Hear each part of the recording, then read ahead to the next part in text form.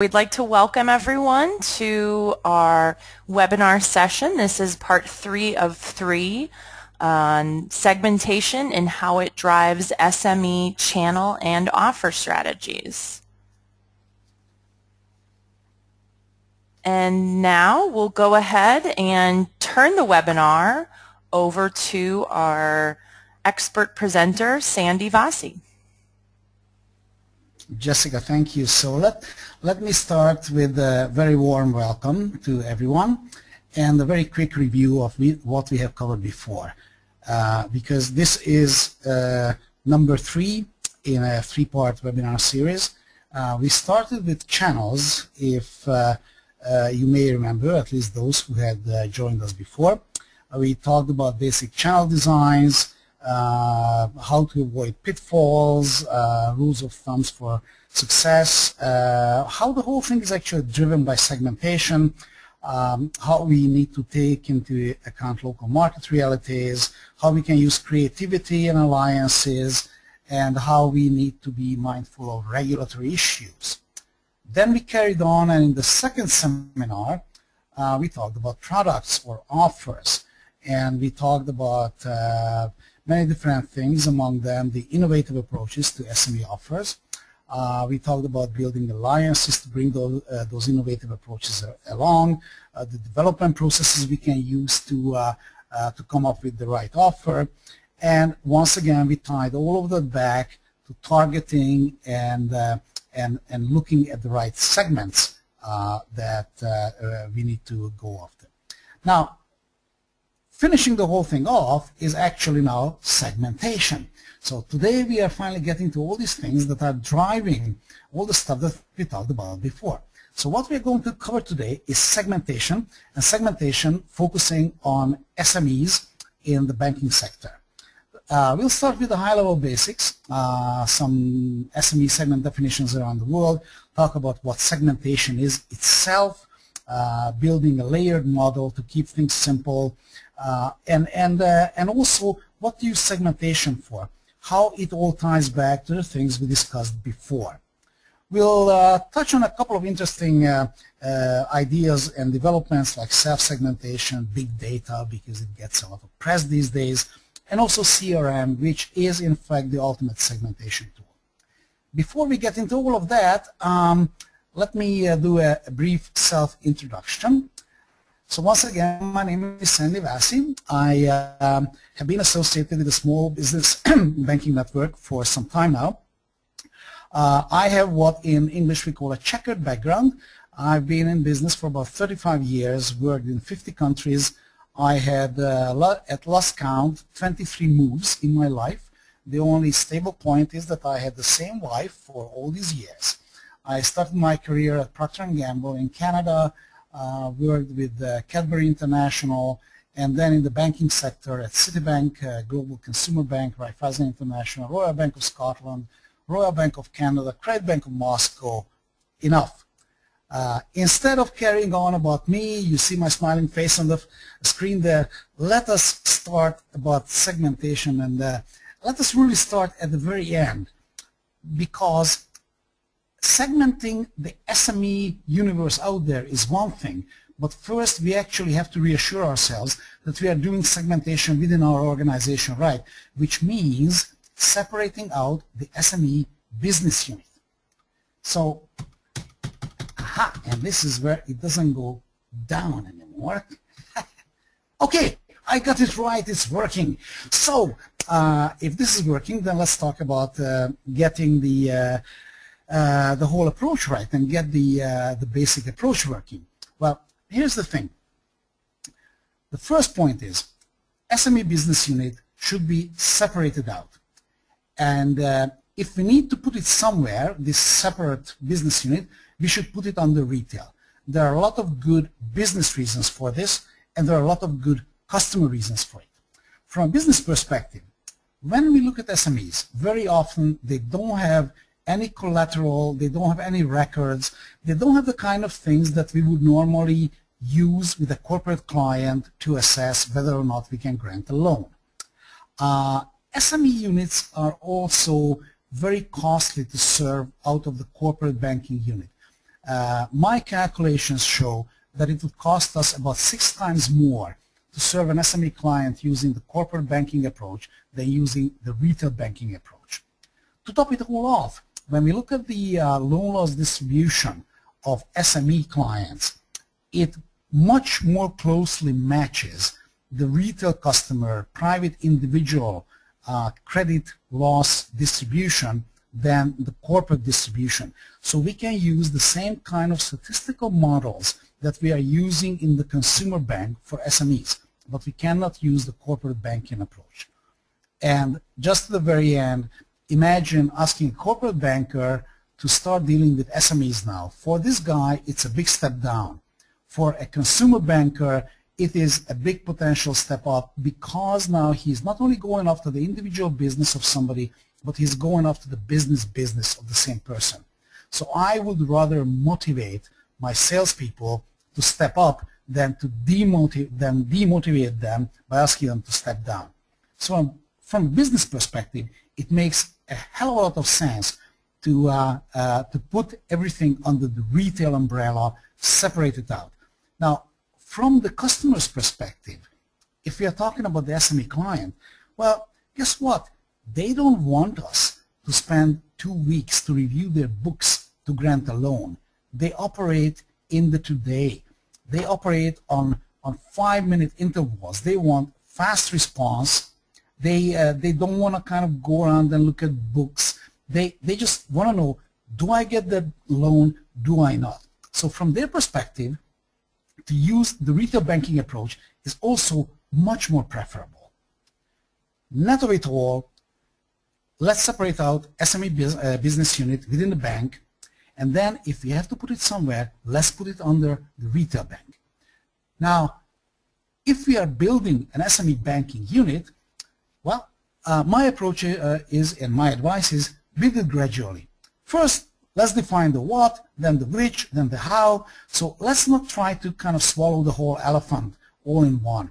Uh, as they say, you eat an elephant by, by cutting it into pieces. Let's do the same thing with the SME approach. Let's also be aware of the local peculiarities. SMEs differ in average size by country.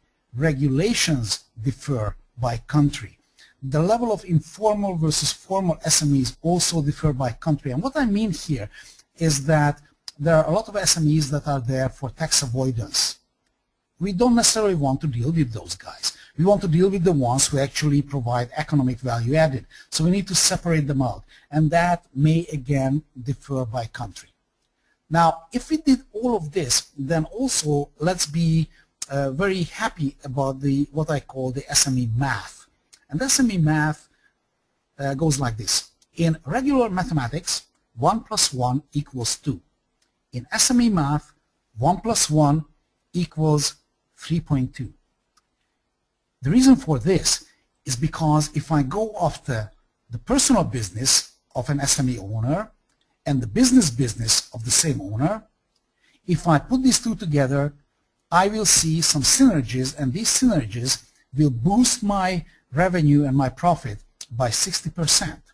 So 1 plus 1 2 plus 60% equals 3.2.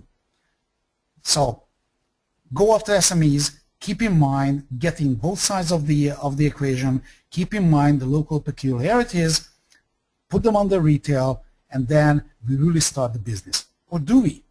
Well, um, what is an SME? An SME can be defined in many different ways. There are four, five, six, seven different ways of defining what an SME segment is therefore where we should be targeting. We can define it by the number of employees and you can see it up on the screen how it is done in different areas around the world. And this is where some of the issues come in because in different parts of the world the definitions will differ. So we can define it by the, uh, uh, the number of employees. We can also define it by sales. We can define it by assets.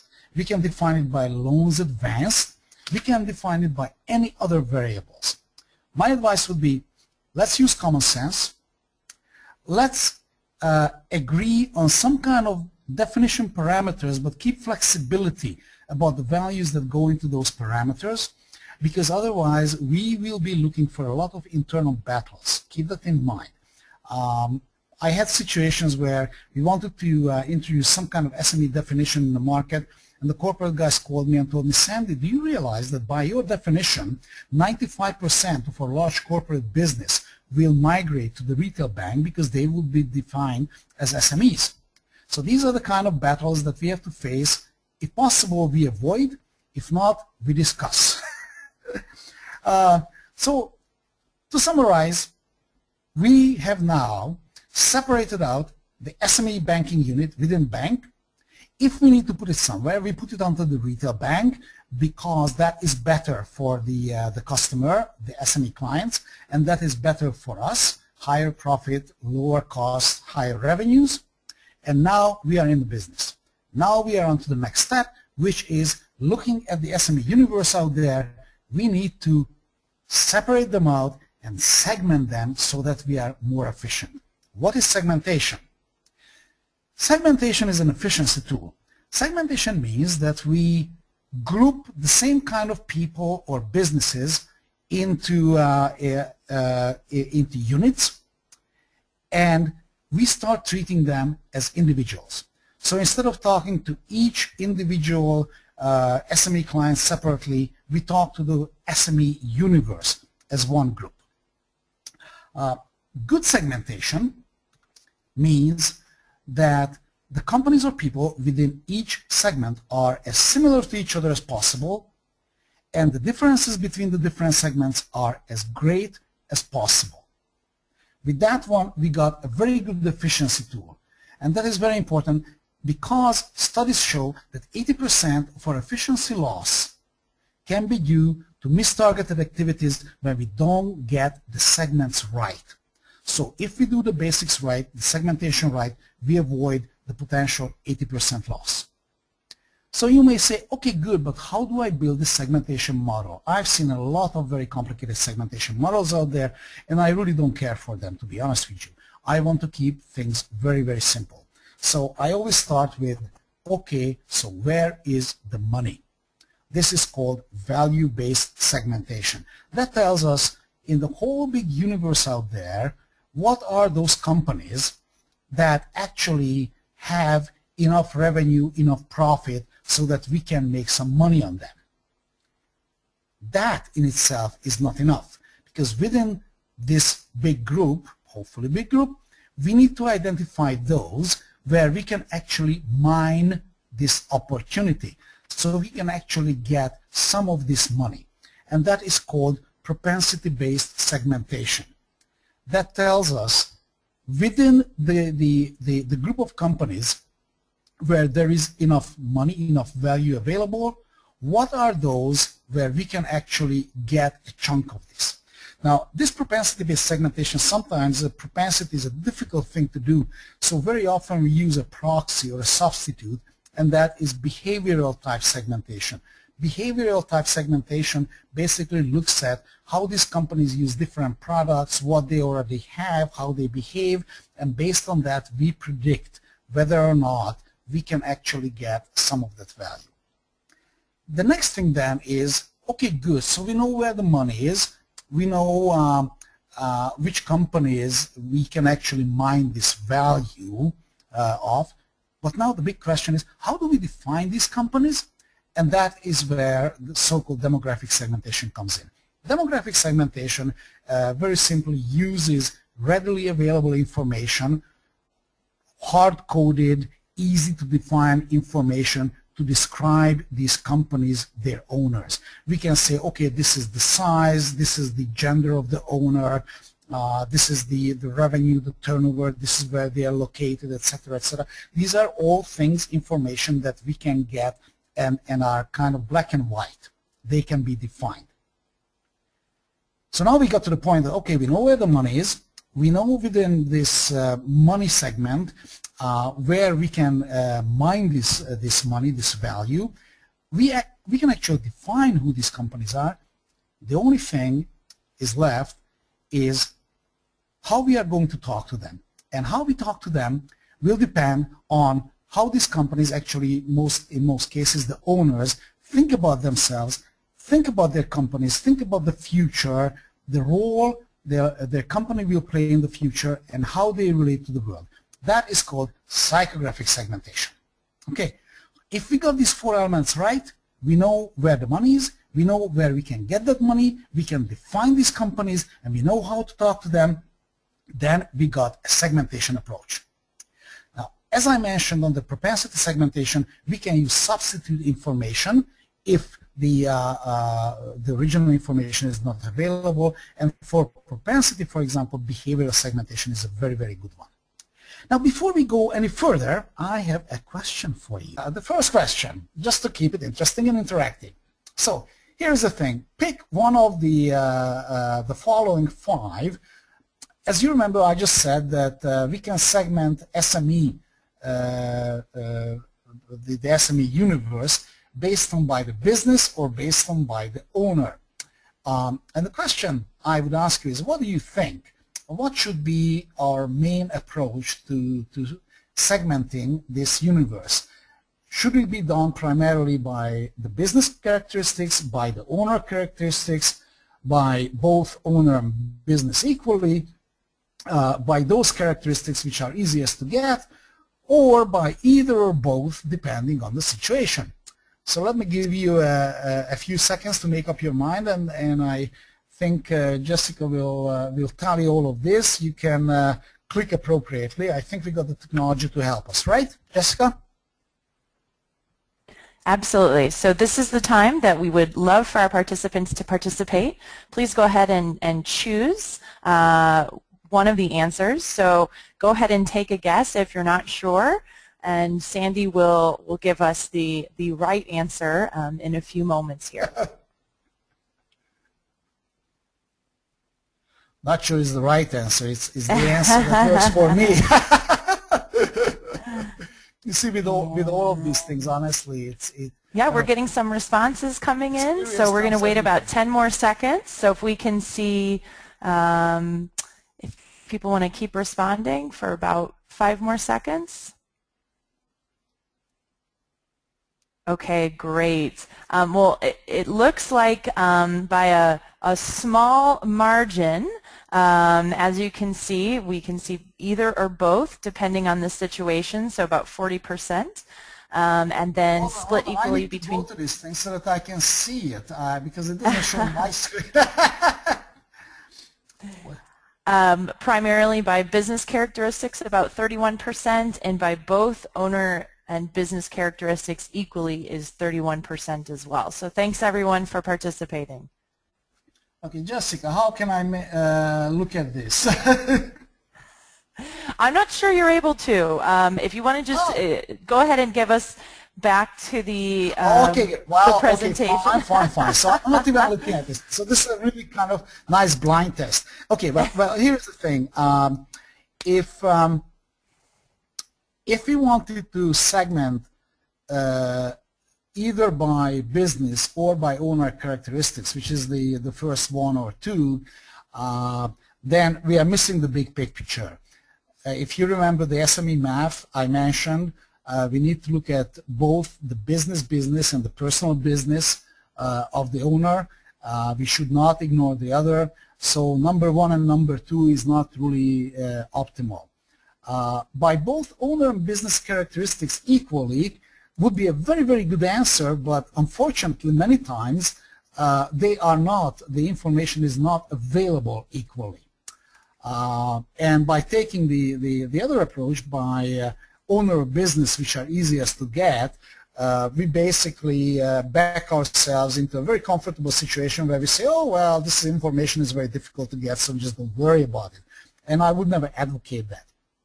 So uh, really the opportunistic approach uh, uh, would dictate number five, which is by either or both, depending on the situation.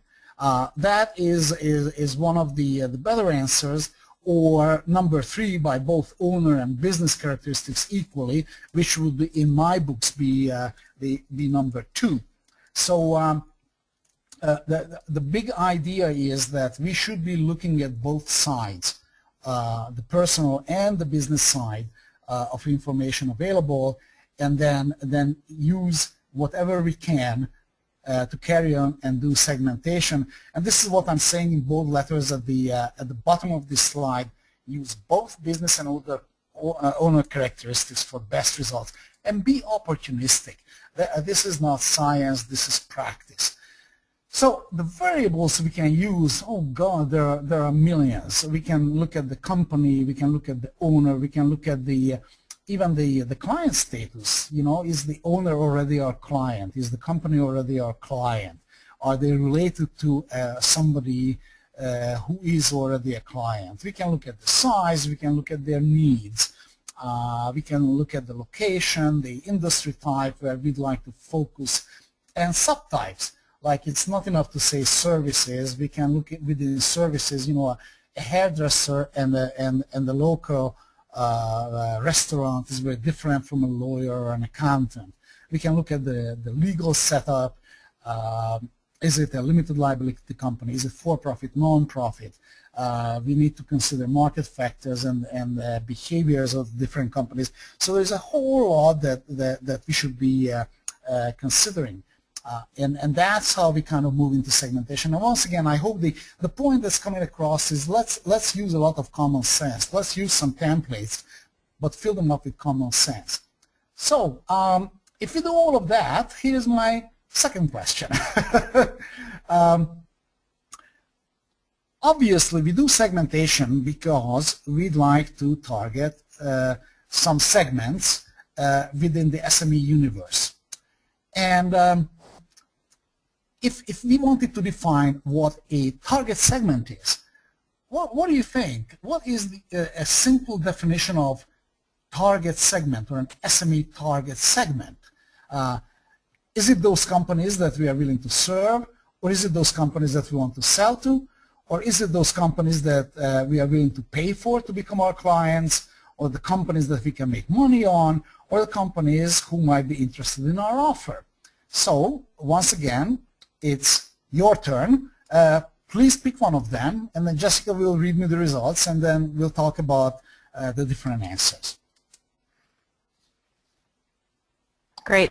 So we're getting some responses coming in, so we're going to wait about uh, 20 more seconds.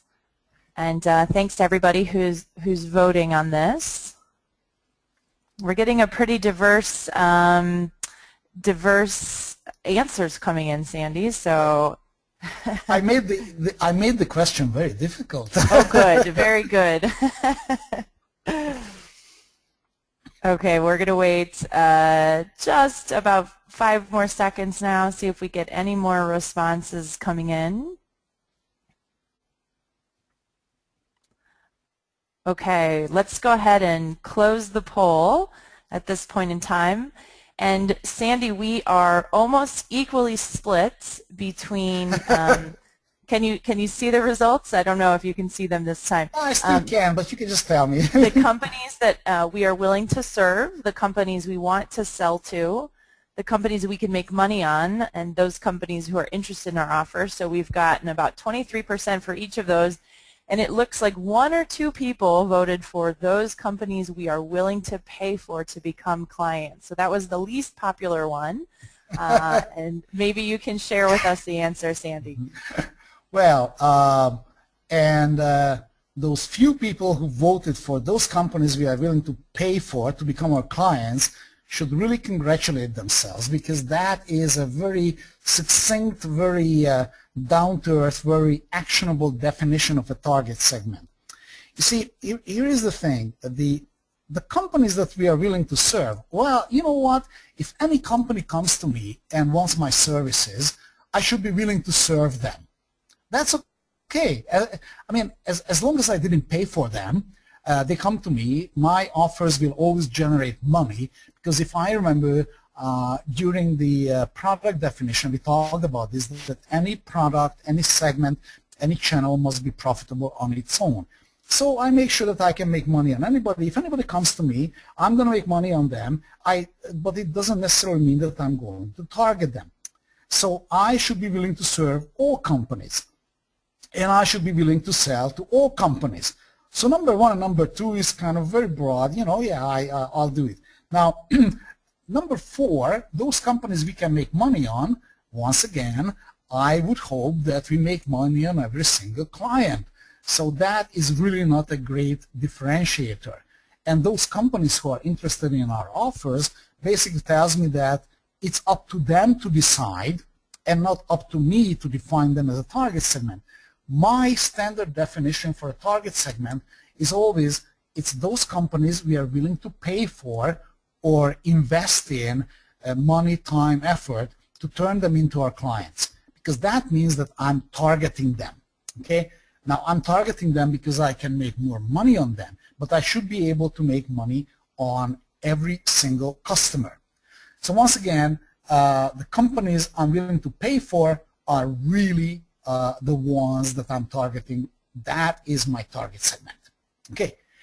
Um, and how, the, how I define these, and, and, I, and, I hope uh, everybody's kind of looking at this and going, hmm, scratch my head, but hopefully when you think about it, it starts making sense. Uh, so if you take one step uh, from this, then okay, good, so how do I define these companies? And I mentioned uh, a few minutes ago how difficult it might be to actually uh, uh, uh, define a good target segment because I do not have all the information for segmentation. And this is when this uh, substitute information or the proxy information uh, comes in. And, and let me kind of give you an example how it works. When Raiffeisen Bank wanted to build an SME business in Poland, the bank looked at the market and said, okay, so who should be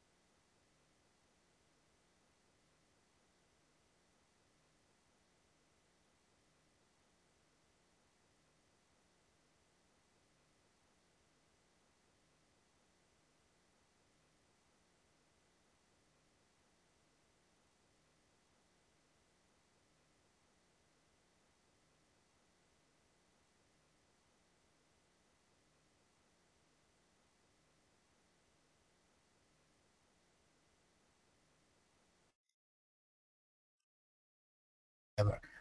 So we said, okay, so if you are in one of these uh, professions, if you've been running your business uh, in the same place for X number of years and you have not declared bankruptcy, we know you are okay.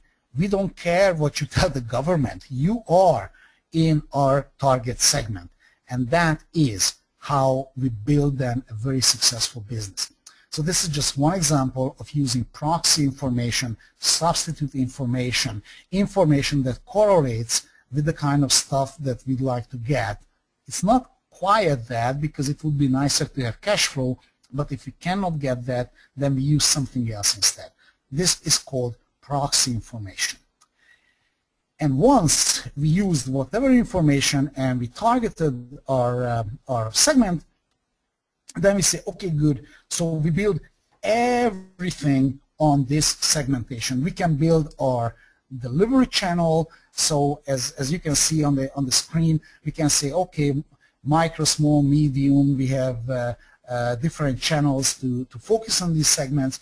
Or we can carry on and we can do further sub-segmentation.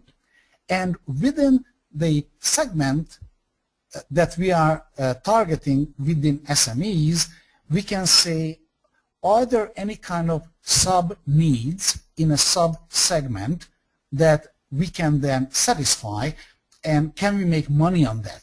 So it's kind of like it's not a, a target segment, it's a sub-target segment. And one example I could offer you is what we did with the Credit Bank of Moscow in Russia. What we noticed is we had a lot of uh, uh, retail SME clients. These are clients who operated small retail outlets. And their biggest problem was that uh, they handled a lot of cash and their insurance rates were very, very high because of cash handling. Insurance companies did not like the idea of these small guys having a lot of money on hand because they could be robbed, okay, and then the insurance company is on the hook. So these clients were saying, uh, can you do something for us uh, that our insurance rates would go down? And we thought about it and we thought, okay, so let's introduce a special service for this subsegment and this was cash collection. We built a, a brand new uh, sub-area to the company. We would go out, we would collect available cash, and we would refill uh, the cash uh, tills uh, for all of these companies next day or the day after or so on. Net result for these companies is their insurance rates dropped dramatically because they did not keep that much cash on hand. For us, we built a very profitable fee-based uh, service for this specific subsegment, the retail, the small retailers among our SME segment. We gave something very specific and very unique to our clients, so they liked it. And you know what? We actually benefited in more than one ways. It's not only that we had a very good offer to them. It's not only that we actually created a fee-based service, but we could then link the information from cash collection into our credit system. You see, what happens is when a small uh, enterprise uh, is running into trouble, the first thing that happens is they are not generating cash flow. So if we catch this early on, we can take preventative steps or if push comes to shove, we can call the loan before any of the other banks wake up. So we got an early warning system about the state of the business of all our small retail enterprises within our SME segment. As a result, we were operating with a non-performing loan portfolio of less than 1% when the whole market was operating at over 15% because we had this early warning system. So this is kind of one example of uh, how we can use uh, segmentation to drill down, identify needs, and then build offers around it. Now, we can, we can take it uh, further and further. We can build the multidimensional segmentation models. Uh, for private individuals at, at Citibank, we built a model where we said, okay, everybody starts out 18 to 25 years of age, and then they, they form a family, and then they have career years, then they retire, and they either move like this, or they move like this, or they move like this, basically based on where they are uh, in terms of their wealth. And for each uh, stage, there are life events, and for each of these life events, we can, uh, we can custom tailor an offer. So we built a segmentation grid based on this, and, uh, and actually started driving our strategy uh, along these lines.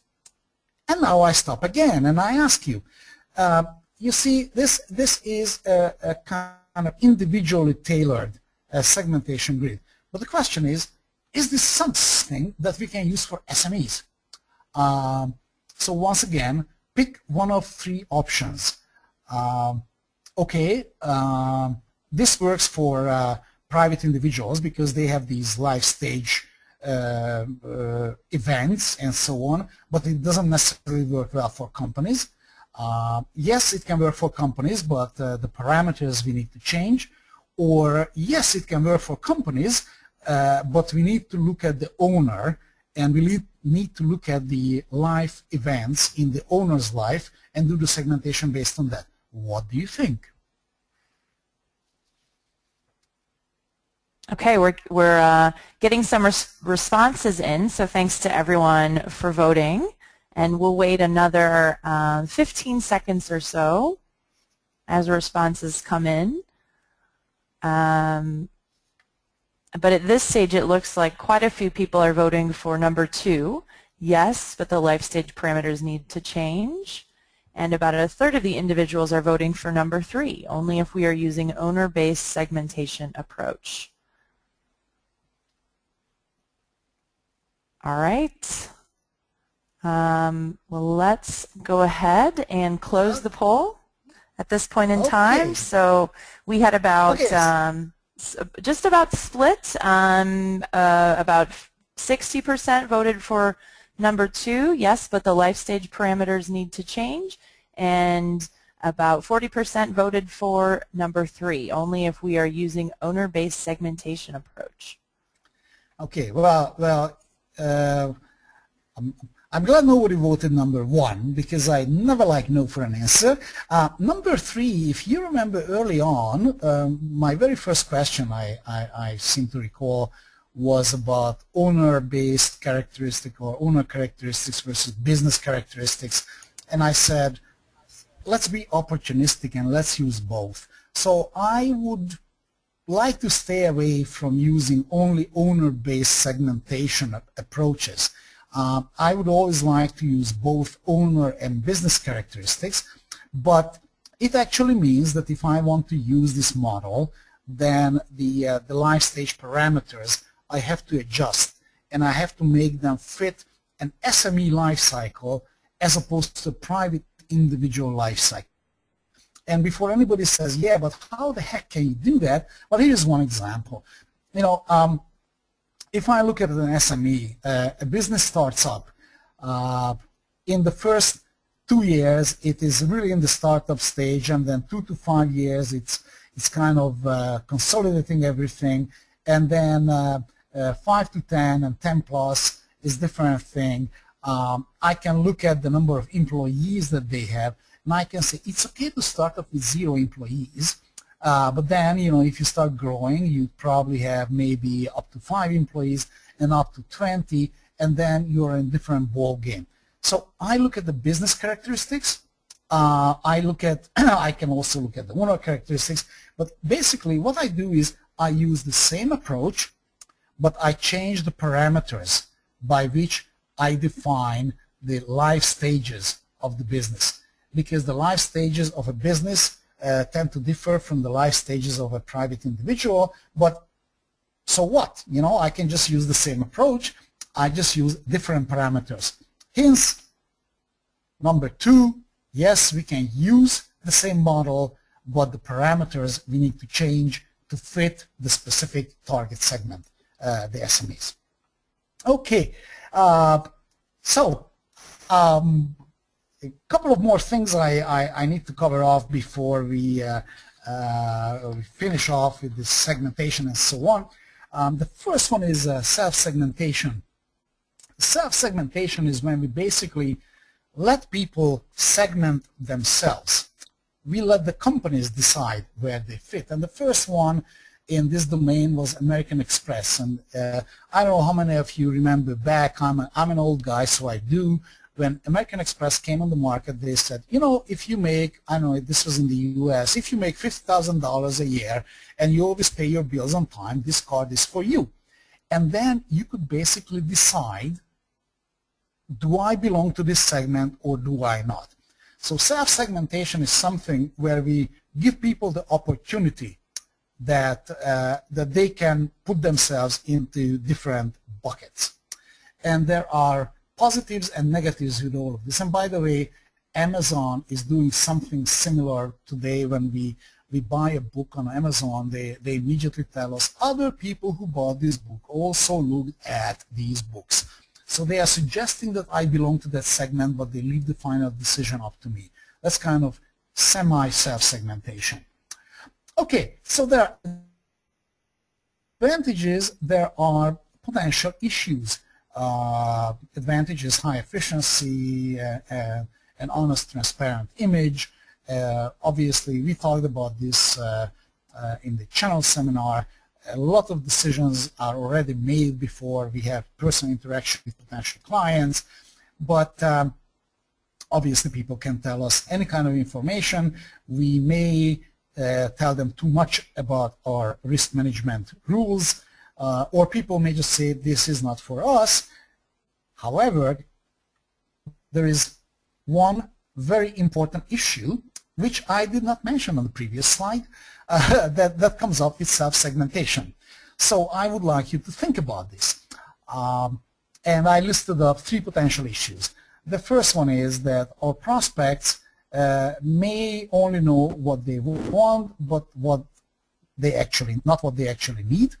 And that would obviously kind of drive self-segmentation in the wrong direction or we may have regulatory issues that would prevent us from using it, or that self-segmentation really only works with electronic channels and that obviously limits their efficiency. What do you think the biggest issue is? Once again, Jessica, over to you for the final countdown. 10, 20 seconds, please. Uh, everybody pick one of them, and then we'll talk about it. Great. Thank you. Yeah, we're still getting some responses uh, coming in, so we'll wait about 20 more seconds um, as individuals are responding. Overwhelmingly, we're getting responses for number one, uh, which, which may be forcing some of the next responses. But we'll wait about 10 more seconds here to see if we get any more responses coming in. So thanks to everyone who's voted so far. And we will go ahead and close the, the poll at this point in time. And overwhelmingly, we received responses for number one. So 93% of uh, folks voting said and that overwhelmingly, know what they want, but not necessarily what they need. And, and we had a and then we had a couple responses for number two as well. and overwhelmingly, you're absolutely perfectly right. That is the single biggest issue. The, the number two and number three are also issues, but really the biggest problem is, you know, if I leave it up to these uh, SMEs to decide, uh, you know, uh, how to segment themselves, they really only know what they want. They don't know what they need. And the biggest thing that anybody would tell you in, in selling and marketing is to explore those hidden needs, uh, to realize what these small companies really actually need, and then design my offer for that need, as opposed to what they tell me what they want. So congratulations, uh, perfect score. Um, that is indeed the biggest issue. I go on the web and I say, okay, good, I know what I want. Yes, sure, but I may not know what I actually need. And the company that finds out what I actually need and gives me the offer for that is the one that's going to get my business. All right, uh, let me uh, let me finish up with uh, uh, three quick hits at the end because now we we talked about you know segmentation. We started at the at the beginning how important it is to set up SME as a separate segment within the organization why it should belong to the uh, to the retail uh, part of the business as opposed to corporate. We talked about the segmentation approaches, uh, how to build segmentation model, uh, how to take it one step further, how to use it, how we can use self-segmentation, what the issues are, and there are three things out there in the public conscience, uh, big data, online segmentation, and CRM. So very quickly, let's walk through these things because they keep coming up. Uh, big data. Uh, big data is basically the ability to crunch huge, big masses of information. Big data used to be called predictive modeling some time ago, and a boss of mine told me once, Sandy, don't ever forget, by the time you lose a customer, you already lost him. And I thought this was the most idiotic saying I've ever heard, and I asked my boss, I told her, I said, uh, can you please explain it because I'm obviously not understanding it well. And she said, you see, what happens is a customer, you don't lose a customer by the customer all of a sudden shutting down all his businesses with you. You lose a customer gradually. First you lose uh, the customer's husband or wife. Then you lose one of the customer's accounts. Then you lose one of the company accounts. Then you lose another customer account. Then you lose two more uh, uh, company accounts and the customer accounts, and all of a sudden you just lost the person. This is a process.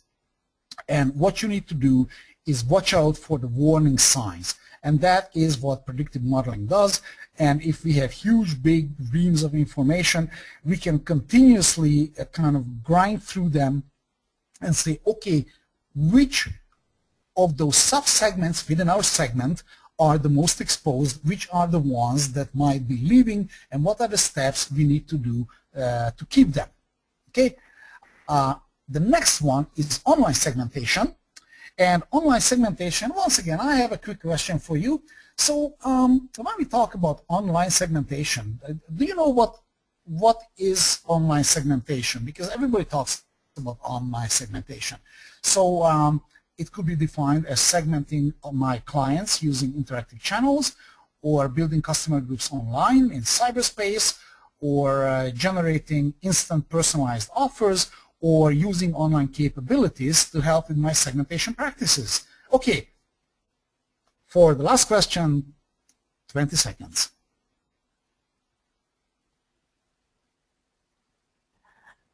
And I think for this one, we're just going to need people to respond in the chat box um, or the question box. So please feel free to um, either type in the number or um, go ahead and list which answer you think is the correct answer.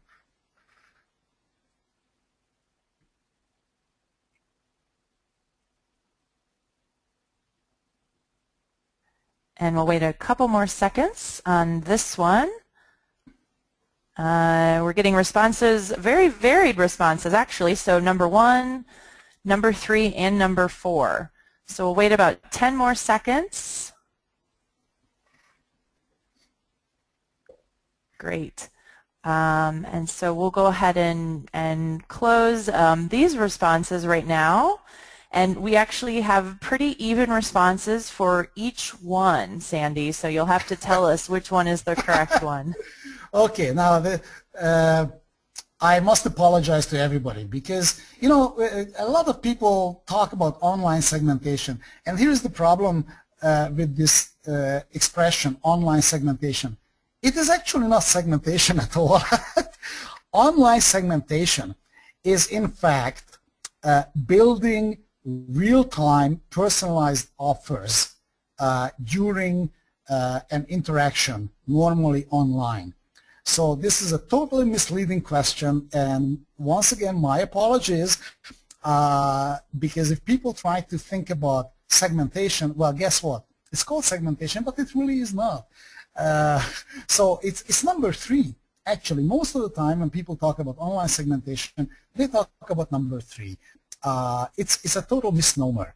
Segmentation, as, as I mentioned, is grouping similar companies or people into, into groups uh, this is not it. This is treating them individually, and it started with Peppers and Rogers, one-to-one -one, uh, marketing, and really what it is, is we are learning about our customers, and we try to give them the best offer real-time, online, based on the information that we have about them.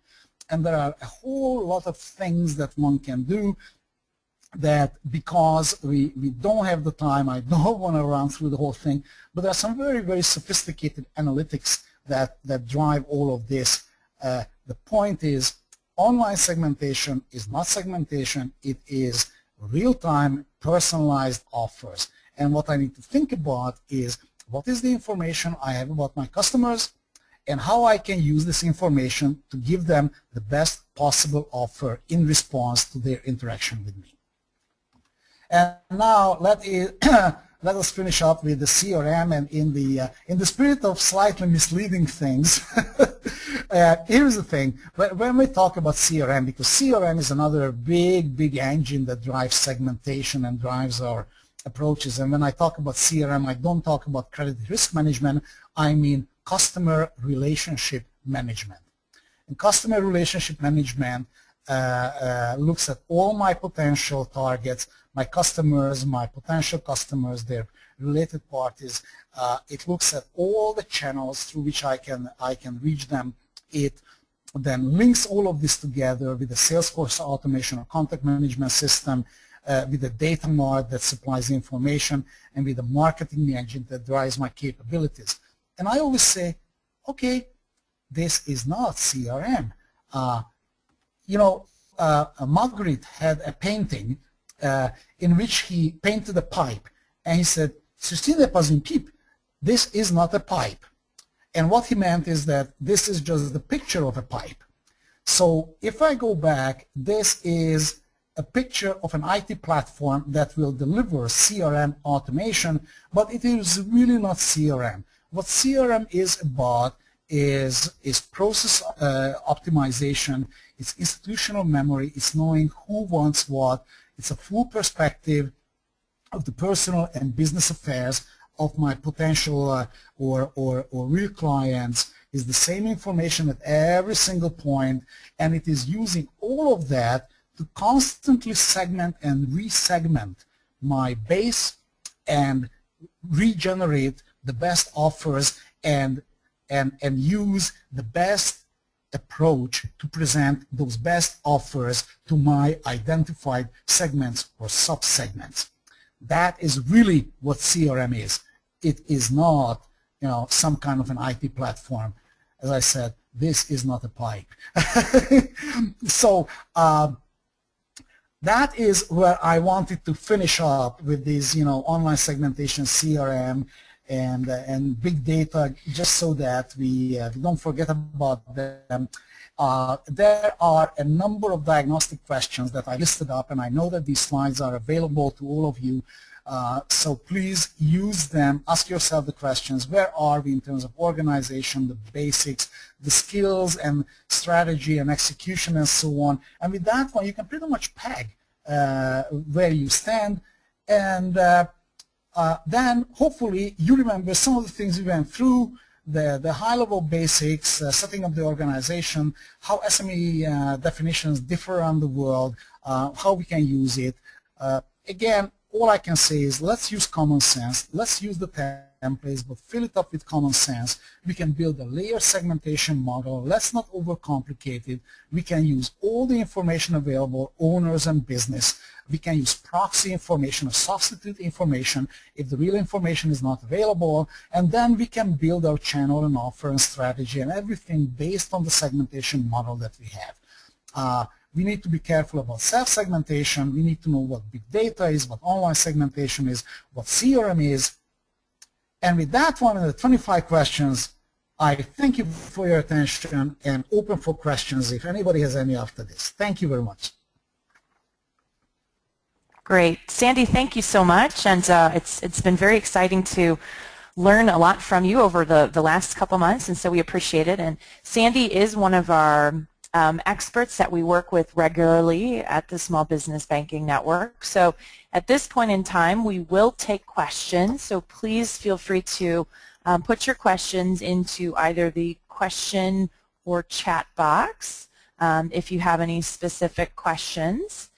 And if you have um, sort of a, a longer question or would like to be in contact with either um, myself or Sandy um, on one of these topics more in depth, please do feel free to post the question on our discussion forums as well um, on the, the Small Business Banking Network. So we'll take um, about eight or ten minutes for questions. So this is a, a great time to post any questions that you have, any clarifications that you would like on any of the information that Sandy has posted. And um, Maybe one question that we can start with, Sandy, is looking at how we could approach potential customers personally. So you talked a lot about segmentation, but what if an institution uh, wants to have more of a personal relationship with customers?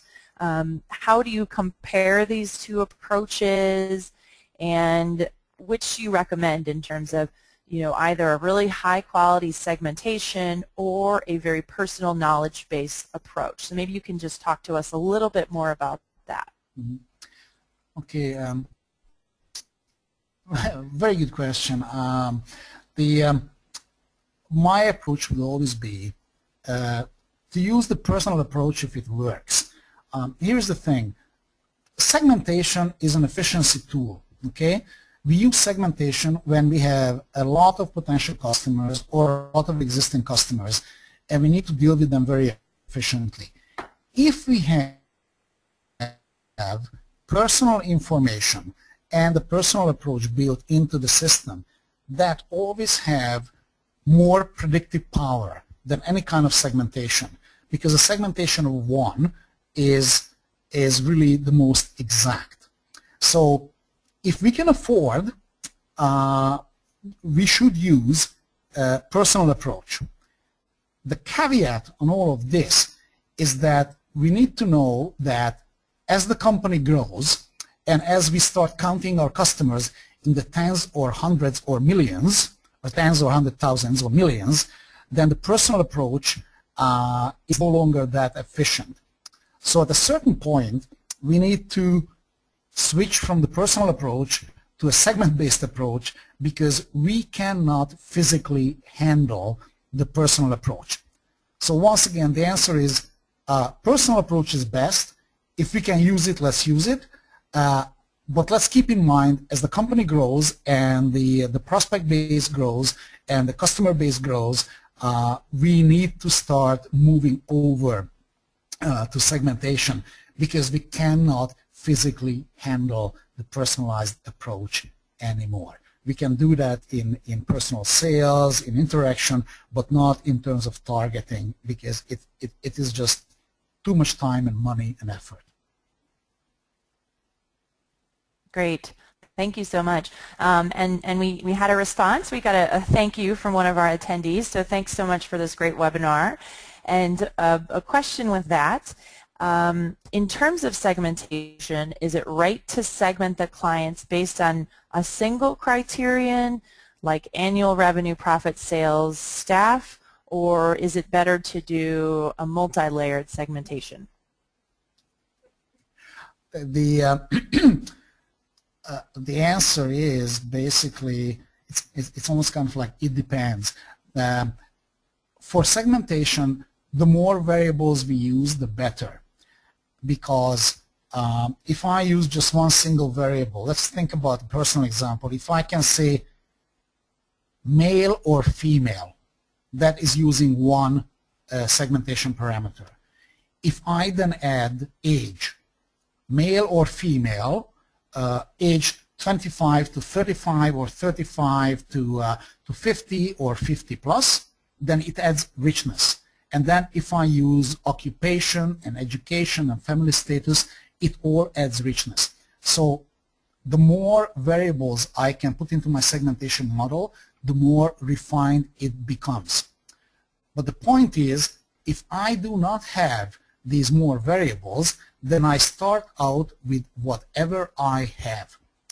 Uh, segmentation is a science, but it needs to be treated with, uh, with an everyday practical approach in mind. I use whatever I got. I use proxies, substitute information for whatever I can use them for, and whatever I don't have, I don't have, and I will gradually build my model as I go into it. Uh, number one thing is let us start segmentation. Let us not say that, oh, I don't have that information, therefore I should not be doing any segmentation. Just start with whatever we got and then add on to it whatever else comes on stream and add on to it whatever else I can lay my hands on in terms of substitute information. That would certainly be my approach. That is what I have been using over the past 35 years and that is what I have seen to work. Great. Very, very helpful. Um, and um, we have another question about sort of the basics of things. So maybe you could talk about, um, you know, if you're going into a new market, uh, an institution really doesn't know anything about the potential segments, how would you start? You know, what would you say are the best first five to ten steps uh, on getting the this this um, segmented banking approach um, off on the right step? Hmm. Um, okay. Um, um, number one is really uh, to gather information. Uh, I would uh, I would always look at what is the uh, information I can gain from the organization, say through my Salesforce. What is the information that is available about the market that I can uh, either bring in or buy or something? Uh, then I would take all this information, uh, check it against my business objectives, uh, see how I can start building a segmentation model, importantly start testing it, uh, start doing things based on the segmentation approach that I built, however simple it is, and see if it is more efficient than just doing things in random. Okay? Um, and, and, and then I would take the, the further steps from there, uh, using basically using all the sources, using the whole organization, um, and, and, and very importantly, within the organization, uh, I, I would always want to make sure that everybody recognizes that SME focus means I'm treating SME as a separate segment for the organization. Uh, maybe I, I should have started there. So within the organization, I need to make sure everybody understands, guys, we're going to focus on SME or micro or whatever, that is a separate segment. Then, okay, so now I set it up uh, as a separate segment. I got people working on it. And then these people will go out there and find out what information I have within the organization already. Because in most organizations, once again, the sales force has information. They just keep it to themselves maybe. I, I should bring this information in. There's information about the market. I should bring it in. I should start combining this. I should start building models and then test these models and, uh, and see if I am being more efficient. And then everything else builds on it. So it's, it's kind of like a, a graduate, a gradual building job, uh, starting with, okay, defining that within the organization we focus on this area, and then go out there and start gathering information and start building the model. Uh, that's basically. Once again, please do not be afraid if you do not have the information. Chances are you actually do have the information. You just have to ask, you have to go around, and you have to pull it all in. And if I only have one or two pieces of information, I will start with that. I will never wait until I, uh, I have 15 different data points. If I only have one or two, I will start with that, and I will start building my model, and then I will refine it. Again, it's uh, you can call it scientific approach. I call it the practical approach. This is what, this is kind of what works in practice. Great, Sandy. Um, we're actually going to take a question directly from one of our participants uh, from an institution in Kyrgyzstan. So, um, Rezbek, are you there? Yes, hello. Hi. Um, if you want to go ahead and ask your, your follow-up question directly to Sandy. Okay, thanks. Actually, Sandy has answered partially to my question. He was saying about practical approach regarding the number of billion levels in segmentation. And my question is, I want to change it a little bit. Jessica knows what I have what I have written there, but I would like to change it a little bit.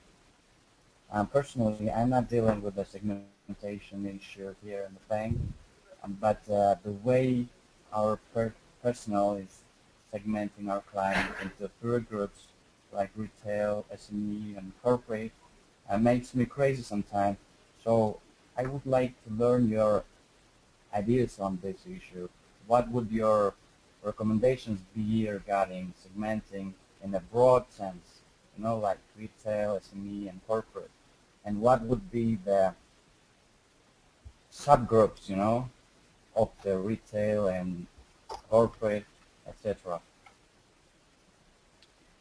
Okay, so if, if, if, if, if I gather it correctly, uh, uh, the, the, question really deals with handling the whole segmentation process within the organization, right? the, the, the roadblocks that one can run into? Um, yeah, yeah, partially. But, um, you know, every bank deals with three major groups of clients, like corporate and retail.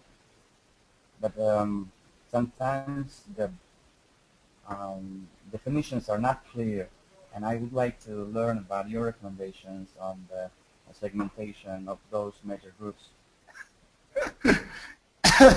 yeah, okay.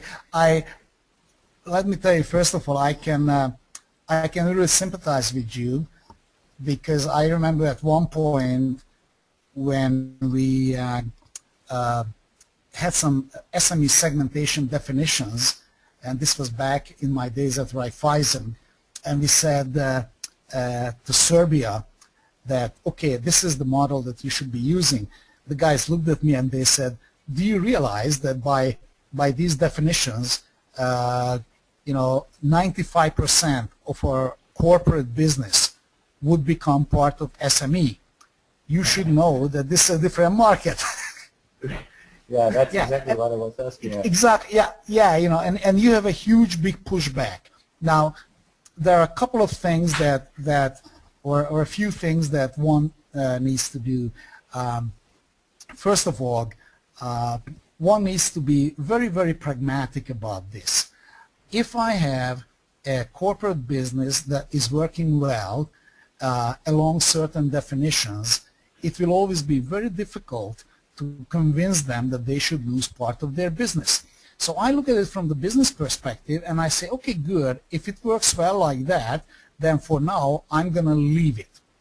I'm going to start, the SME definition may be lower, at a lower level than, uh, than I, I would have normally started, okay?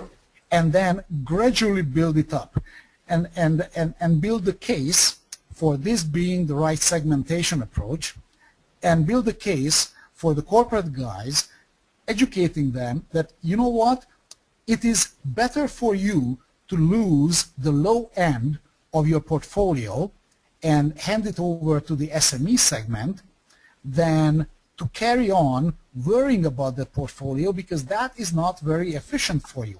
Now, I will give you a very Machiavellian advice here, and, I, and I hope nobody's taking this conversation, but the very Machiavellian advice is to really to cater to their uh, self-esteem. They, they look at themselves, we are the corporate bankers, we know all of this stuff, and I would say, yes, you know that, but wouldn't it be nice to, to lose the low end of the corporate so that you can focus on the higher end, more value added, and your guys can really uh, you know justify their salaries by going after the the bigger fish. And I will take off your hands the uh, the, the, the, the smaller units at the bottom end and I will handle them the way that I can make money on. Therefore the whole company can can make money on. So I would appeal to their self-esteem uh, their own self-perception I would make the point that I am actually helping them by taking some of the uh, the, the fragmented uh, small pieces of businesses off their hands so that they can focus on the on the higher end.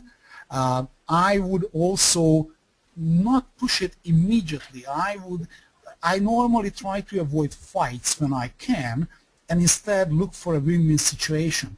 So if I pitch them the win-win, as I just said, and I start building the SME segment and start showing to them and to the company that it, that it works, even if I have to start at a lower end definition where uh, than where I would like to be, I would start there, and then then I would I would gradually raise my uh, my definition as I go along.